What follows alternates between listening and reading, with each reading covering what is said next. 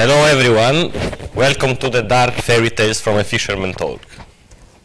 So, quick words about me. So I do pen testing, vulnerability researching, uh, and uh, I lead the core development of BEEF, Browser Exploitation Framework. I wrote with Wade and Christian uh, Browser Hackers Handbook. I was a fisherman, and currently I'm a fisherman. So before I was basically doing like uh, tournaments, uh, like surf casting, which is like a discipline uh, that was uh, invented in uh, United Kingdom back in the, in the 60s, 70s, and then it was like imported in Sardinia uh, because we are an island, so you know the currents are always good and there's always a surf. Although we, we don't have like the um, you know the different levels according to the moon, like in the Atlantic Ocean. Um, so analogy between fishing and fishing. So there are some analogies as you can see. So when you do fishing uh, with this technique, you do you prepare your bait, you prepare your line, you prepare your worms, and then you cast the line over the last surf, hoping that some fishes will catch your hook. When you do fishing, you prepare a, pre a pretext uh, fishing strategy, and then you send your emails. Then there is a second phase where you are waiting for something to happen, regardless if you are fishing uh, in, you know, with a, with a rod, or if you are fishing sending emails. Uh, so you are waiting for some, something to happen, your victims to click on uh, your links, uh, do whatever you want, open your attachments. And then you have the third phase, which is actually the point where you get a big fish. Okay, so you get like a shell on the company CFO laptop, you start to get like financial data out and uh, that's it, depending on the, on the scope of your engagements. And uh, this is another analogy. You see, I was fishing in Sardinia, got a nice, you know, set of fishes a few years ago with a bunch of friends. And uh, I was fishing as well a few weeks ago against a bank from Saudi Arabia. And, uh, you know, it was the, basically the fishes are the victims over there. Um, so fishing uh, equals equals equals fishing. Again, uh, end users are sometimes more stupid than saltwater fishes, seriously. Because when we do surf casting, you can see that if you fish in the same way with the same kind of lines, hooks, worms uh, in the same area, uh, after a few years, you can see that if you fish always the same kind of fish, uh, those fishes will become more intelligent. So you need to get like uh, lower diameters of lines, smaller hooks, uh, prepare the bait in a better way and then it's going to be always dif difficult, more difficult and difficult because they adapt, they evolve. Instead, uh, uh, victims, um, some of the victims can be you actually because, you know, don't think that you are not immune to this stuff only because you know how to do a pen test. Um, so humans apparently do not evolve. We are doing phishing seriously with 15 years old techniques, Microsoft Office macros, HTA files, custom executable files, and you will see a couple of fairy tales which are going to amuse you. Um, so the main point of this talk is to show you um, to show you a way to automate a lot of things uh, because you know you know that you always need automation when you do fishing. Who is doing fishing over uh, here, by the way? yes, yes, yes, fishing. Uh, my fishing. Uh, So anyway, every time is a different story, of course. You need to modify things in your phishing campaigns, uh, footers, uh, URLs, uh, executable things, uh, custom messages, languages, uh, and so on and so forth. So configuration overhead sometimes becomes a killer. Really, you are like with that kind of stress mood. Is it gonna work? Is the link gonna show really as I fucking supposed it was showing? And you can identify repeatable patterns, of course, ways to automate and templating here and there in a way to minimize error. Um, so need, a, need of automation and also speed is key once you got access to victims' assets. Uh, assets. So um, you, I don't know, you are in 10 minutes, you are collecting 10 credentials for 10 different users uh, in Outlook Web Access, and then you cannot really log in, in like immediately um, to 10 different uh, accounts. maybe an hour later, the the, you know, the IT guys in the, in the target uh, network uh, will detect this and they will change the password. So you really have maybe some hours sometimes uh, to really get and uh, extrude the da data. So you need to automate. Um, the idea came with uh, when I saw for the first time Phishing Frenzy, this Ruby on Rails application that is open source in GitHub, written by Zeknox, Brendan McCann. We submitted a talk also to Black Hat and DEF CON. Maybe we'll be there, I don't know. right now I present it here as an exclusive for Hackpra. Meet fish. So current features is a way is basic. I, I, what I did, I uh, created a Linux image on Amazon EC2, which includes a Debian-based and includes basically Fishing Frenzy, Beef, uh, and a couple of other tools, which automates for you uh, creating uh, uh, templates, fishing templates. Uh, so highly configurable template system. you can support HTTP and HTTPS. You can do credential harvesting. Um, so you can obviously also integrate, through the integration of Beef, you can do client-side attacks using template uh, exploitation templates, which we will see later. And some, some of this is obviously work in progress, which will come, uh, that will be done in the next few months. And then there is a nice reporting stuff, but we will get into demos and stuff, don't worry. What is left uh, as a manual step, if this stuff uh, you know, combines everything, what you uh, at the moment, what you need to do is to configure the um, DNS zone file. Uh, so basically, you know, SPF, DKM, this kind of TXT records, your CNAME uh, records, depending on how you know deep you want to go with the phishing stuff, and um, configuring starting the phishing campaign in the web app, which is you're going to see takes five minutes literally and eventually creating, modifying the client-side uh, vector or the phishing template if, for example, you cannot find anything really fishable on the victim uh, main domain, FQDN, for example. And then nothing, just wait for things to happen. Um, right now I'm using Amazon, and I've been using this for the past like almost two years, um, professionally and not professionally, with um, uh, the main advantage of it is that you can reboot the AWS instance, and every time you reboot the machine, you get a new public IP. Okay, so if someone blacklists you, you can reboot the machine, update the A record in the DNS zone file, and in five minutes, the, the propagation in DNS will be fast. So in five minutes, you are up and running with a new domain. Actually, the same domain with a different IP or a different mapping completely. So uh, the second thing is that it's very cheap. So you can run this stuff uh, this uh, image that I created for about $3, $3.50 for a week. And usually five days is enough, unless you are doing like things with different time frames, uh, very targeted attacks and things like that, where you cannot really like mass mail every day or things like that.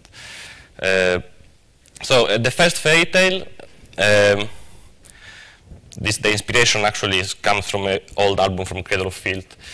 Uh, so it's called, let's, let's call the target Lulz. It was like an uh, part of the uh, Australian government, like a, one of the cities, I don't remember. Um, so the FQDN was something like WA Gov AU. You cannot register domain names uh, under the AU TLD. So I had to use like something like this, which worked in HTTP. So once uh, like uh, identifying the subdomains of the main FQDN. We identified through like a 2000 word list, just checking DNS. Webmail, VPN1. So the first one was Outlook Web Access 2010. The second one was actually the Checkpoint SSL VPN. So you already know what, how it ended up. So this was that, this one was the phishing email, actually rendering it from the victim mailbox. Um, so it was like, you know, uh, we are from IT, please check if your credentials still work here. And uh, classic stupid href uh, trick, HTTPS, but there is HTTP behind, who cares? And nothing like, you know, you just need to send it at the proper time. So I woke up at 6 a.m. before. I need to plan on adding some scheduler, like Sidekick, into the, into the Fishing Frenzy app. But anyway, I sent it after lunch, the 46 targets, sorry, and nothing. Like uh, this was the phishing page, and uh, after like three hours, before everyone went to, ba to, to back, back home, 40% success rate. So you harvest credentials. The credentials are automatically domain credentials. They work in the AD. Most of the Microsoft Sheet works in this way. And nothing like VPN credentials automatically. They didn't have, uh, obviously, they didn't have uh, two-factor authentication on the Cisco uh, SSL VPN. So you connect via VPN and you are a completely outside attacker. So now you are in the internal network. From an external pen test point of view, you are now in an internal without pivoting, so just straight into the VPN. And this, after a few hours, we just like compromise the AD. And uh, yeah, this was basically the FileZilla exe backdoored and nothing, like you can see, completely pwned. So basically two days of harvesting, preparing, configuring the campaign, sending it, and then compromising it from an internal point of view. Four hours preparation, time, recon, so about $10 total cost, considering a EC2 cost and the domain registration. Uh, obviously, the invoice that, you know, if you ask me to do this, I will like invoice you at least 1,500 euros per, per day. But this is like the cost if you want to do it yourself. And no zero days involved as well. So you don't need to burn zero days for things like this. And then there will be another even better example, which is now public from a few uh, months, which I can speak about. Um, more details about uh, the EC2, uh, which is obviously a private one. Nothing is for you right now. Uh, can be used with these two small profiles, so very low memory consumption and very cheap at the, at the end, so $4 per five, six days. Um, the Ruby script, uh, so the, the, the, idea is the following. I will show you the code, it's probably easier. Uh, Mario, I need your help. Where is, uh, okay, Lulz, where's Lulz? Yes. That's like this one. Yeah. So that The, the script is very simple. It's like a Ruby. There is a Ruby script that basically uses the fog gem to connect to Amazon uh, to the Amazon EC2 interface in a way that you can, you know, create, list, start, stop instances. Um, it allows you. Uh, what it does also once it connects to it, uh, it basically uh, starts to do a bunch of things. You know, like starting some services, configuring uh, some, changing some configuration files and then uh, you know setting up the whole environment for you in a way that you can just point your browser to uh, the Phishing Frenzy web UI, and then from there control Phishing Frenzy, BIF, uh, and mass mailing and this kind of stuff. I will show you a video in a sec anyway. F5, yes. I can manage it, I think. Uh, obviously, you, I'm using Amazon EC2, but the script, uh, you just need to change like two lines of configuration code, and you can use libvirt, QEMU, Rackspace, you name it, Xen server.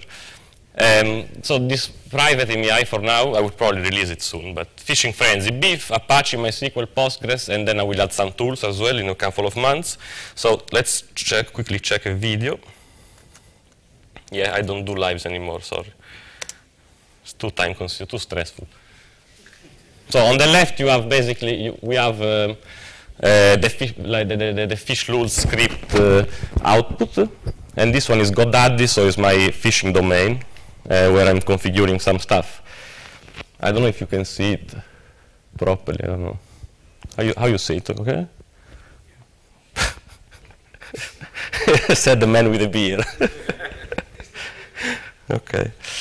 So, um, okay, let me accelerate a bit. So, this one over here is basically the configuration file of the script um, where uh,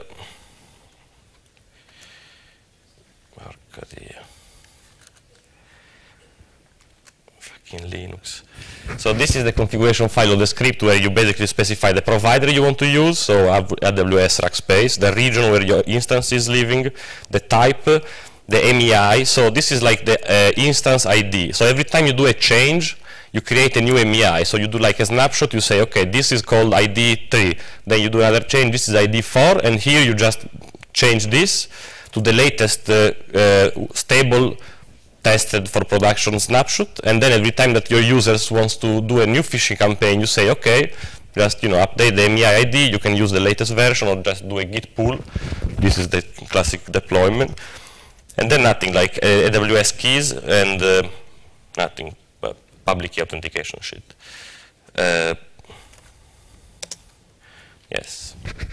So um, here I'm configuring a bunch of things in my DNS zone files. The, this is the domain name I own, which I use sometimes to do phishing, and it for LinkedIn, Just like abusing LinkedIn.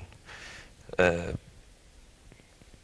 so this is how, where, where the moment where you are creating a new campaign. Okay, so you run fishlools, you say you use this configuration file, is asking you like enter a name for your instance, then enters a name for the uh, phishing frenzy web UI, so where the admin panel basically, so not non-predictable, uh, ideally a non-predictable uh, you know subdomain. And then uh, where uh, it asks you where you want to run the phishing campaign, so the FQDN where the phishing page should be served from. And once you enter this, it's gonna basically connect to Amazon via the RESTful API of Amazon, and then say, take this MEI, use this profile, and run it with these uh, performance uh, options, and uh, then it's gonna wait for the instance to be alive. In the meantime, from another shell, invoking the same script, you can basically check what's going on. And here is you are connecting to your EC2 account, and you are listed. You can do like a list of all your running instances. So if you have like five different phishing campaigns for five different customers, you, you are going to instantiate five different VMs in a way that you have completely segregated environments, and you cannot like you know if something blacklist someone, you don't have to be using like Apache vhost uh, with like three phishing campaigns on the same server. is quite risky. It depends on you know what you want to achieve, of course. Uh, and then after like a few minutes, uh, the script runs, change a bunch of configuration files, and then it tells you copy this line, paste it in your browser, careful for these clipboard attacks, and then uh, arrive arrive to the phishing frenzy UI. Um, I'm speeding up a bit because otherwise it's a bit long. So before doing that, actually, I'm also, now that the instance is run and you have the public IP from Amazon, you are going to just update, uh, we, we, just updated before um, quickly the A record for the linkedhn.com, so it points to the instance that is now running uh, properly in Amazon. Everything is configured, so you just need to uh, properly add um, SPF and DKEM TXT records to your uh, to ensure that basically you can bypass any spam filters. In this case, I'm actually using SendGrid as an SMTP server because for a reasonable amount of money, you can send like 40,000 emails per month, which is fine, you know, and uh, you can use their SMTP server reputation. Together with SPF and DKEM, you can reach every mailbox. You can reach Gmail, uh, forefront, uh, protected stuff, everything. And uh, because it's not supposed to be abused to send spam, but you know, you can always provide that you are doing some technical job. So nothing, you, then at the end, when, once everything is configured, the script is actually telling you, okay, now you are ready to copy this another line of, uh, of code, and uh, of, is actually an SSH tunnel command, in a way that you create an SSH tunnel to the instance, in this case, I'm not using HTTPS, so you can securely connect to your phishing campaign uh, web panel. There is even a little snitch. And uh, once you are connected, it will look like this. So, but now there is the second video. This was just a preamble. And then the second one um, is actually the one where I show, I will show you how everything works. Okay, so this is phishing frenzy. Okay, so um, these are actually the templates that we have loaded currently. So Intel Password Checker, IFAX, HTA PowerShell, uh, LinkedIn, which the is the one I'm going to demo, and then others like Outlook Web Access, Office 365, uh, Travel Agency, and others, you name it. These are the current ones that you find public right now. Um, so for example, if you want to check how a template uh, is created, you know, you just check. It's basically like a, a PHP file, which is like this, you know, with your, uh, like this is the, uh, the example of uh, the Outlook Web Access one. And then uh, you have the ERB, okay, sorry, this is the example of the like PHP uh, phishing page for Outlook Web Access 2010. Um, then you have the ERB file, which is the email, okay? And as you can see, you have like placeholders like here and things that will be uh, that template uh, based, so they're gonna be replaced with your like victim names and stuff. And, uh, and then you have other files that are either images that you need in the email to be, to be base64 and added in the email, or attachments like you know malicious stuff. So in this case, to recreate the LinkedIn phishing email, I had to add you know a face of a nice girl, cioè nice, a, a girl, uh, and that was briefly what, what, was the email, but I will show you in a second action. Um, the nice thing is that obviously you can configure everything. So the second PHP file that is here actually handles the redirect after your victim will submit uh, the credentials in the phishing form, okay? Because obviously the credentials are arriving to you, then she gets redirected or whatever. In this case, uh, we cannot iframe LinkedIn, otherwise we could have even iframed LinkedIn so to keep control, but that's not possible.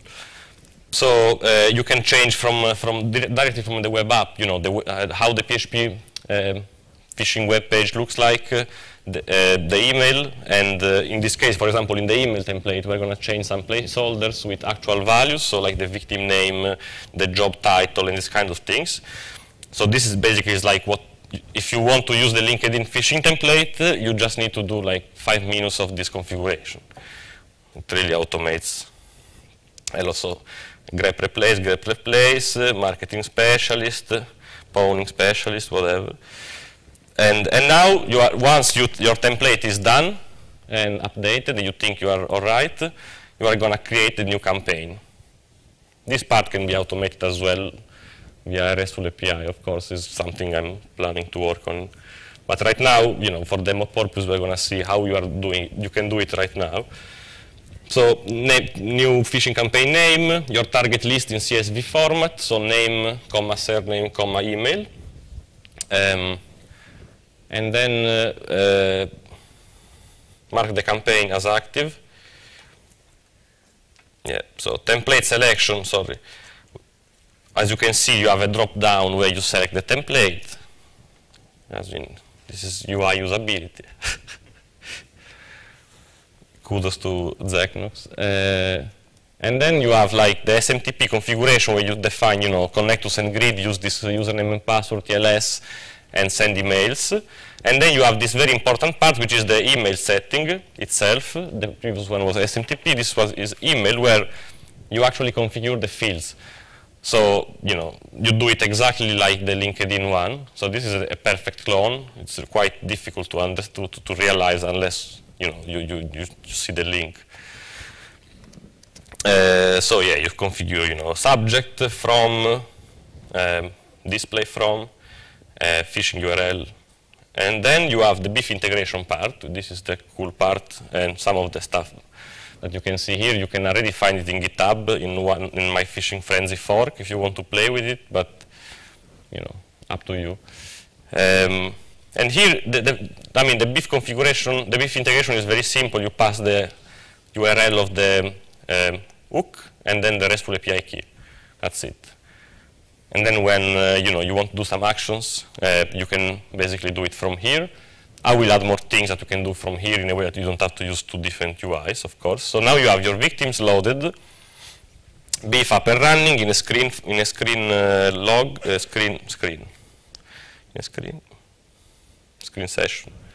And then uh, I show you quickly how beef is configured in this case. As I'm using mod proxy, so basically it works like this. Uh, when, when you do launch of the campaign in Phishing Frenzy, it's going to create a vhost file uh, with, you know, moving the, the, the, files that you want for the, to be in the, in the web root of that vhost. And then uh, BIF is going to be behind, uh, listening only in the loopback interface, and I'm using mod proxy to proxy requests. Some of them will go to Beef, some of them will go to the phishing uh website. So in this way, so with proxy pass, uh, proxy pass reverse, in a way that uh, res you respect the same origin, like you don't need to, you don't need even two domains first, uh, and then you can have a lot of instances of beef behind, and uh, you can have like different things, like one with a WebSocket connection, one with uh, a plain XHR connection, in a way that you can like maximize uh, like um, uh, hook types, because sometimes it's different to follow, like to, to switch protocols, like um, we had some issues in the past. Um, so yeah, it's all up and running, and uh, what we just need to do is like we tile the production log just to double check. We launch the campaign. So for every email, it's going to do the template parsing, uh, substitution, and then sending the email. This is the first victim. So first, uh, yeah, and um,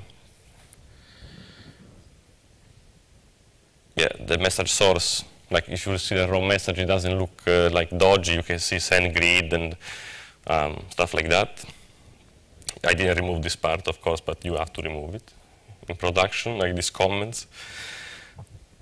And um, when the victim clicks on the link, this uh, call is already registered by Phishing Frenzy. Beef, the beef hook is automatically running as well in the meantime.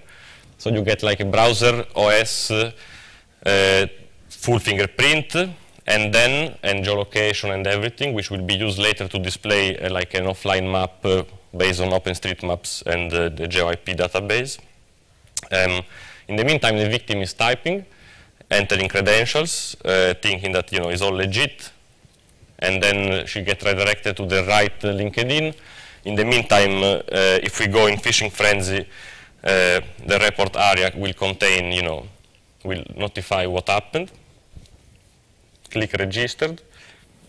And you can see also that uh, you know this victim that is corresponding with a specific UID uh, entered th those credentials. You get all the fingerprinting over here, but you can also get a better fingerprinting with the geolocation and the map um, here, where like you can click and check, and then you can like um, you can see I mean, the cool thing about this, regardless of the map, which is like, you know, just to show off, actually it can be useful sometimes, but uh, the nice thing is that you correlate the name, the surname, and the email that you have from a normal phishing campaign with the operating system, browser, uh, plugin, fingerprinting that you get from Beef. You merge all together, including the geolocation, so you have uh, a lot of information to further profile your victims and uh, narrow down the attack uh, path. So like you, instead of saying I have three op options for later client-side exploits, I would say, okay, uh, yeah,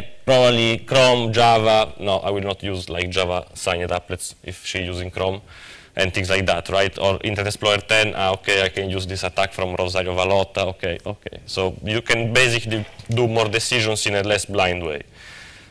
Uh, the second victim is actually the one that is in Outlook. As you can see here, to protect your privacy, this is like the standard uh, uh, webmail client thing.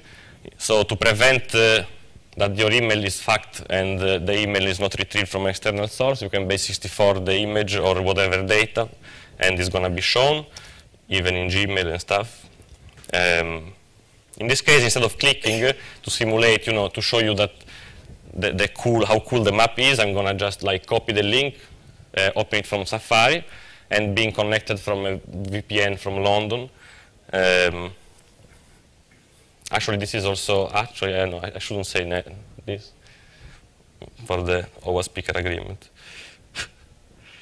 so Mail Marshal's trusted security product got bypassed by this, but whatever.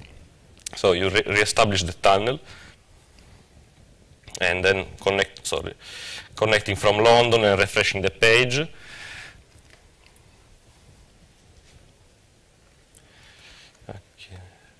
yes, like you see the other one, the other connection. This one is actually like, it's not really a UCAT browser, it's like the trusted product that tries to uh, check if my link is malicious and failed, and then you get the UCAT browser.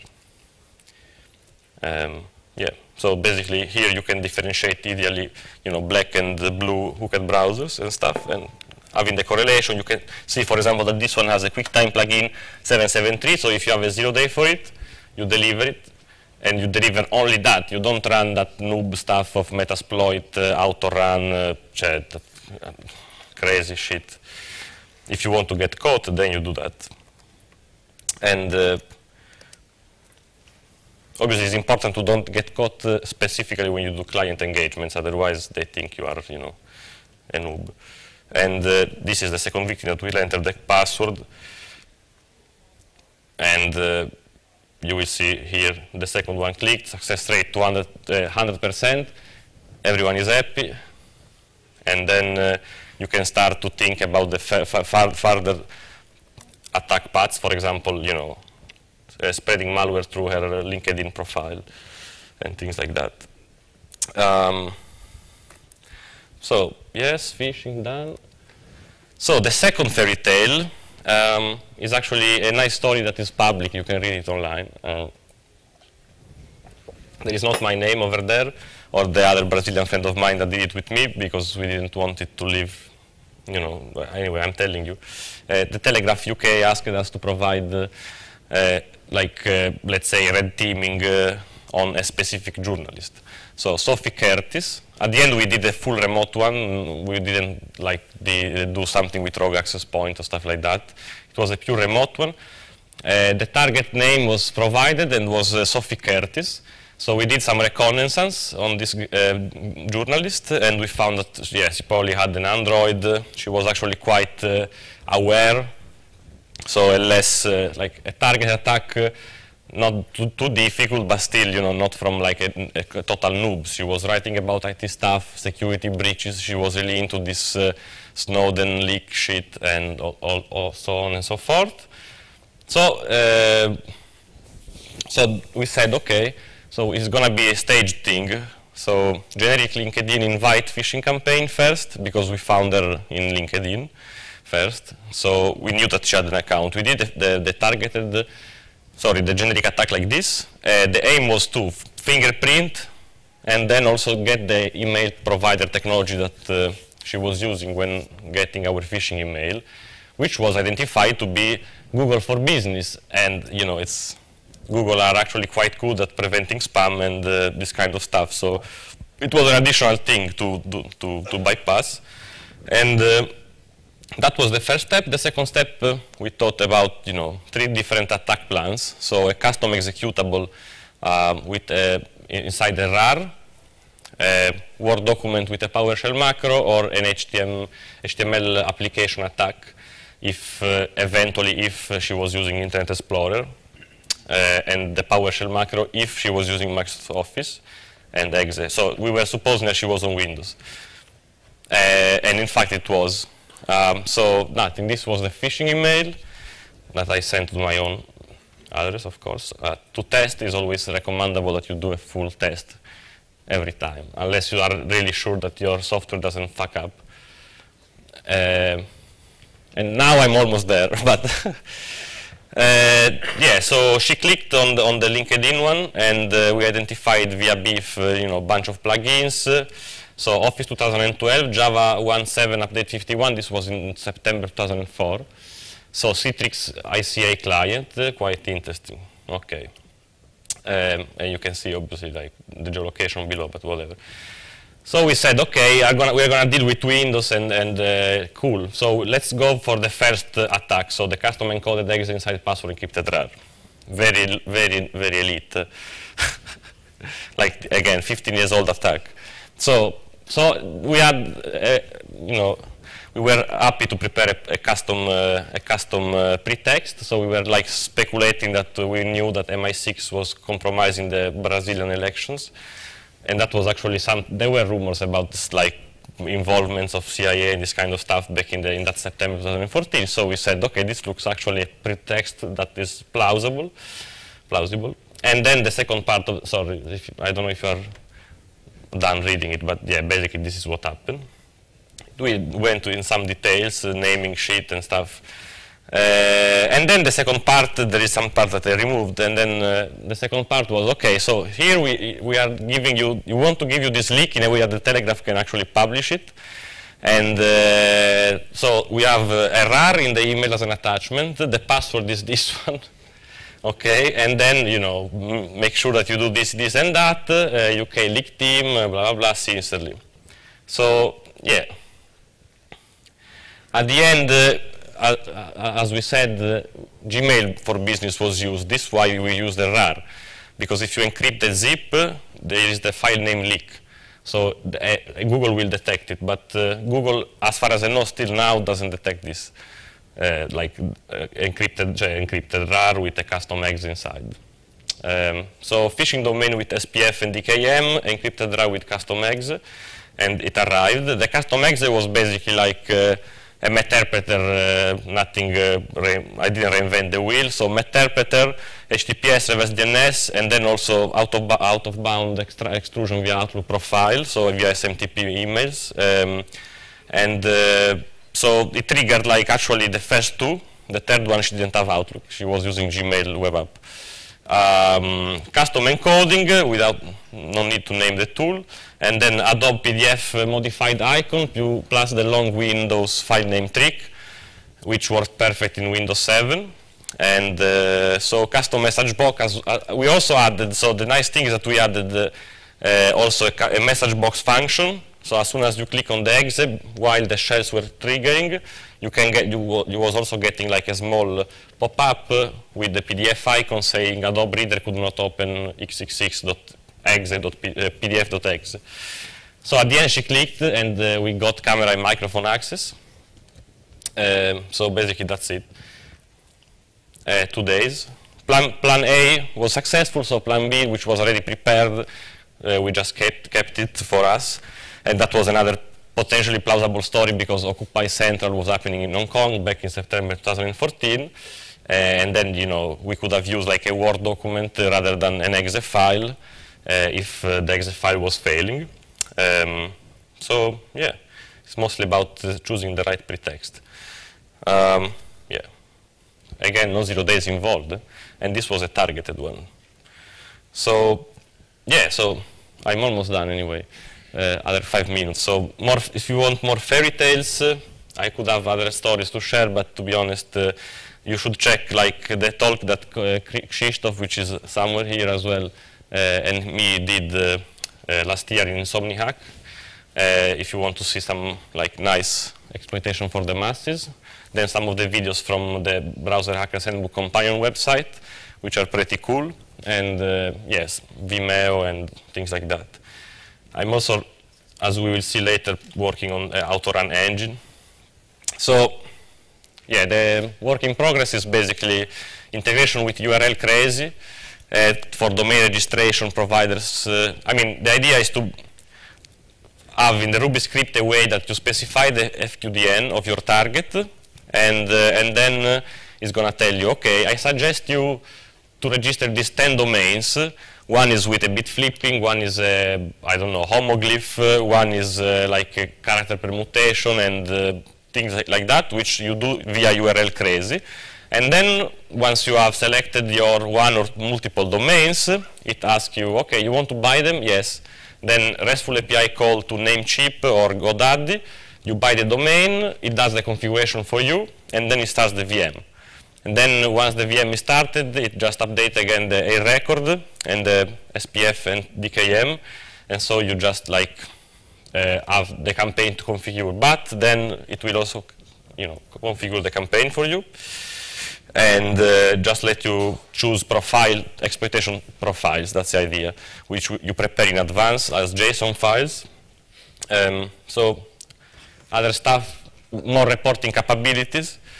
So for example, this one was something that is currently available as a report if you have like a proper, uh, you know, if you run the whole thing that I showed before. Uh, so proper correlation. And uh, another nice work in progress from a while actually is the server-side auto-run engine. So it's basically a way to say to Beef at runtime, uh, eat this JSON file and understand that I want to run, if the browser is Internet Explorer 10, I want to run this, this, and that in a chain, and I want to run the third one only if the second one doesn't fail, and then get the response from every module. Things like that. So you can automate a lot of things. You can chain like um, UI um, abuse tricks with uh, you know serving extensions for Firefox and stuff like that, or the HTA tricks can be automated like really really nice uh, in a really really nice way, or do the classic you know. You remember in Twitter, uh, fuck, I have to say that. Uh, six months ago in Twitter that everyone was saying, ah, WebRTC, uh, you can uh, decloak uh, people, VPN internal IP addresses. This was the Hacker News news. And this is actually known from 2012. It's written in the book. There is the BIF module, so no one gives a fuck. Like the Greg said, like no one's read everything. So whatever. So you can automate things like this that are automated already in BIF from months, which are like, uh, as soon as you get a hook, you get the WebRTC IP from Chrome and Fi if the browser is Chrome or Firefox. And then uh, you start to get the subnet, enumerate the subnet with uh, like Garrett Hayes techniques uh, back in the days, and which still work. And then you can like uh, do, for example, blind cross-site request forgery attacks on, routers or things that were successful a few weeks ago with some friends were using shell shock cross origin blindly on 80443 in the internal network. And we pawned a bunch of NAS, uh, like outdated QNAP uh, things. So, and this was, uh, this is basically the idea of uh, how a JSON uh, file for the like auto run template for BIF is going to look like. So you define the target, then the version that you want to target, then you define here the modules, and these are like two different modules with ID condition if you need it. So for example, uh, run the second one only if the result of the first one is the string or is, uh, I don't know, bigger than this number or this, something like that. And then uh, the, the, the, the, name of the module, which either that or the ID, whatever, and then the options, so parameters input that you need to pass to the module to work. And uh, you can like chain them in a way, you can delay them, and you can change the execu execution order. This is like very rudimental, but that's the initial idea I had. I'm going to work on this, improve it, and then mm, finally code it. It shouldn't be that difficult. And uh, it's going to open a lot of possibilities, in my opinion. Uh, because basically then, if, when you do a phishing campaign, what you need to do at the end is just prepare enough phishing templates uh, for the web page, for the email, and uh, for the second exploitation part that will cover enough use cases you think that you know you will basically need to minimize. Uh, you can minimize a lot of the time required seriously to do phishing in this way. And uh, yeah, that was not the ISIS flag, which in my opinion is all bullshit, this ISIS thing, just BIF offline browsers. So yeah, hope you enjoy the dark fairy tales.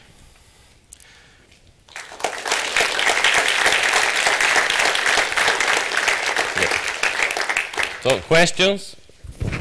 Yes, yes. So I guess in all of these cases, uh, there were customers who wanted you to do this, right? Mm-hmm.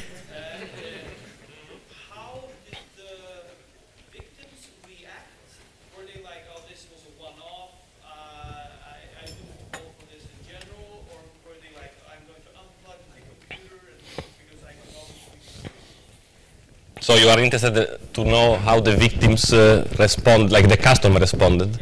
Yeah, sometimes very scared, uh, or sometimes they were saying, ah, we added, the, this was detected by WebSense, but like three hours later, after I had all the hooked browsers, so three hours later they blocked. So sometimes they get scared in this way, so they, you know, they say, ah, you got detected, you need to stop, or sometimes they just like, yeah, they don't, they, they really don't get it. Like, sometimes uh, I, I pawn these customers that, for example, had like, uh, I was browsing like messages from 2013 in their web mailbox, and they had like mails from different security companies that were providing phishing training in the past, like phishing, like protection from phishing, and still they got, you know, pawned. So it's, it's very mm, relative, the reaction. I mean, sometimes uh, when you do this stuff, they ask you to limit the scope a lot, so you can just get the credentials, check if they work, and that's it. But then, you know, when the scope is, is, is more open, it's definitely more interesting. Yes? Well, no, similar to that, but I was, I was just wondering what, what's, a, what's been, what's a good way for a company to react when you, when you go back to a customer and present what you're able to do? What, what are the better reactions you've had? What makes your job harder? Uh, well, so, sometimes, uh, um, I don't know, like, um, if they have like a proper, um, if they if they're able to properly prevent like uh, exfiltration traffic, for example, if they have like uh, I don't know HTTPS proxy that blocks certain things, they, they block DNS. Sometimes it's you know sometimes you might get frustrated when you don't see the reverse shells coming back, for example. But uh, sometimes you don't need that, so you revert back to other things like exploiting web apps from the outside as well. It depends. It's like a mix of everything. Otherwise, uh, mm, yeah, I mean, the, the anti-spam filters are never a problem, for example, so I, I, don't know really how to fix this with anti-spam solutions because there is no way. I've heard about some people doing uh, uh, like images of, uh, you want to whitelist your bank website, so you do an image of uh, how the page looks like, then you do the same on the phishing uh, page when you are comparing it, and then you compare that with the URL as well. So even if the phishing page is perfectly equal, then they check the URL. But you need to have that whitelisted in advance, so it's not really scalable. So I'm not sure. I don't really have a, a, a clue how you can prevent these attacks. Probably training people to don't click on links, uh, things like that. Like oh, one thing is obviously what I do personally. I always render emails in plain text. I never render them in HTML. Then I, I, I copy and paste. Uh, again, I will consider that again, but uh, I copy and paste the links and you know things like that. But don't use webmails as well. Uh, use it uh, like a client. Yeah, basically. How often have you seen proper incident response? Um, Percentage-wise. Yeah, sometimes, sometimes. It depends on the customer. Uh, there were cases of large financial companies that, for example, uh, they were really shit at it, and then sometimes uh, uh, large uh, hotel uh, retailers that, for example, were um, getting so panicked that they, they, they, for, they were forwarding us. So we said, we will start this month. We don't tell you when. This month. And they sent, we started like uh, in the middle of the month, and from the 1st to the 7th of the month, they sent like every day different phishing emails that we were not sending, that they were receiving, and they were saying, is, is, it you? No. Is it you? No. Like this, you know, looping, and so sometimes you have this kind of reaction, it's a bit, yeah, shit. I'm referring to after you hacked them. Yes. And you were in their system and pulling out their stuff. I've been doing this for a while as well, and the usual reaction is that sooner or later system administration is finding out and they're sending an email. We're being phished. Don't click on the link. And that's all they do. Ah, yes, yes. Okay, that happened as well, and so. so going and everything. Yeah, so for example, sometimes it happened that uh, we had, uh, we, we, could, for example, uh, so we reply to that email, spoofing the, the email of the IT guy. Once we were, because you monitor obviously what your victim has access to, so when you see things like that, you reply spoofing the IT guy and saying uh, it was all a false alarm, please go back, uh, or maybe click on this ad as well.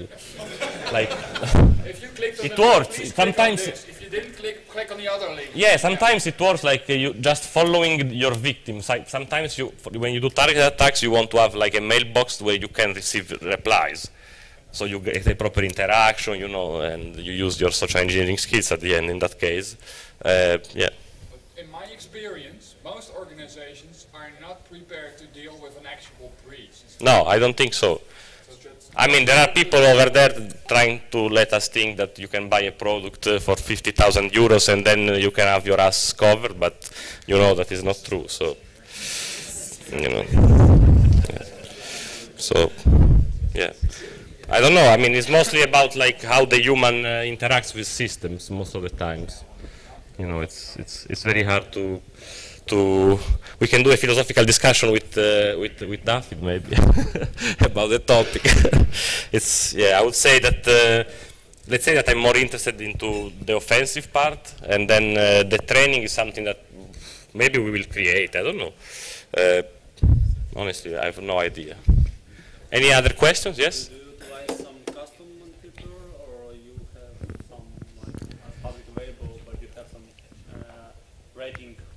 No, sometimes uh, we use Veil, or sometimes we use just like those like tools that you can get uh, in like the dark web, uh, and pay them for a, for a while, and that's it. Uh, yeah, mostly like that. And then we use fuckav.ru to check the payloads because they don't share the payload with uh, VirusTotal. And which format uh, is like triggerable for users? The what? Sorry. PDF which which file format is most the most forma file formats ex executed. Well, it depends. Like uh, Access or Windows, I guess. Uh, yeah, like uh, DMGs on uh, on uh, yeah.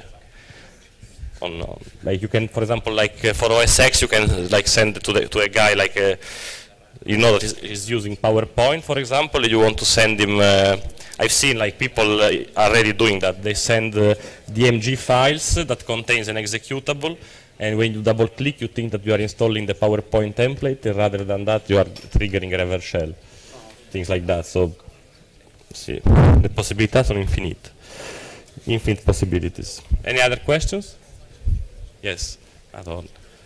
Yes.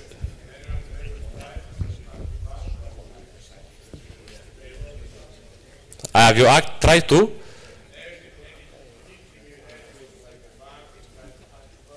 Ah, no. Ah, yes. that was... Uh, Mario alone in the night and he said, what I have to do, I have to pound beef. Back in the days, yes, it was good, yes. But I don't use the web UI. I'm just using the RESTful API, so for people that are, uh, yeah, so stupid to use uh, my shitty coded web UI. yeah. And uh, yeah, so if you don't have any other questions, guys, or yes, if there is some other question, I can, I guess, handle other two questions, yes.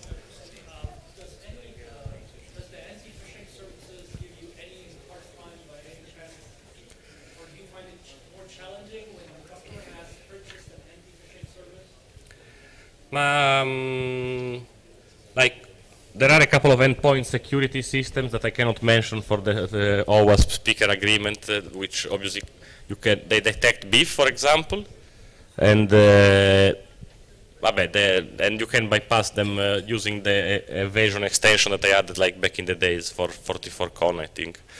Um, so most of them, they are just regexing the JavaScript for either global variable names or function names. So as soon as you scramble both of them with a, like hash table, whatever, uh, you bypass them. I cannot name them, but it's not a big problem usually, unless they have something very advanced, which so far uh, still didn't happen. But I, my plan is to get you know all those tools, all those products uh, like you know WebSense, uh, SWG again, and uh, a bunch of others, maybe FireEye, and then you know try them out and check how it works. Yeah. Any other? Yeah. Do you plan to add something to the image so that you can uh, follow up your phishing campaigns to be able to somehow convince the victims to help you bypass two-factor authentication? Yeah, that's a good point. Uh, yeah, we can. Yeah, we can discuss it. It's really interesting. Yeah, I've seen people. Uh, yeah, abusing the camera to like the victim camera to then get like some pictures of what she was doing. But yeah, we should. Yeah, we should speak about it. It's actually quite interesting. I still didn't have. Uh, sometimes, yeah, there was the problem of two-factor authentication. For example, in Outlook Web Access, in a, like a bank, uh, it happened, but. Um, but then there were other routes other, uh, that you can anyway use because once you get the AD credentials, then uh, some of the services that are exposed will be two-factor authenticated, other not. So, but yeah, good point. We will work on it. Guys, anyone else? No. Cheers. Thanks.